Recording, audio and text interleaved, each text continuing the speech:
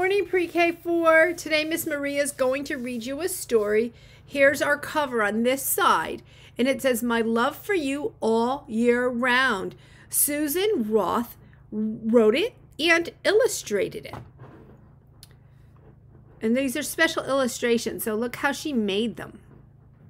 It starts by saying, My love for you is warmer than a snowsuit in January,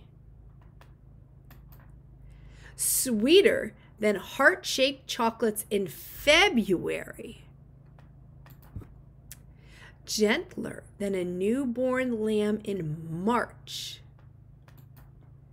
My love for you is softer than April rains, brighter than May wildflowers sunnier than the longest day in June.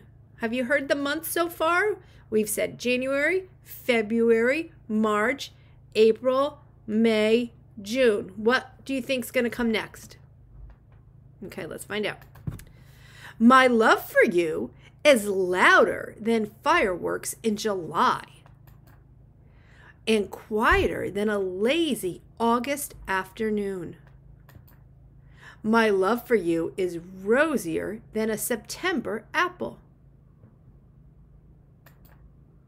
plumper than an October pumpkin, fuller than families in November, cozier than a hundred holiday hugs in December.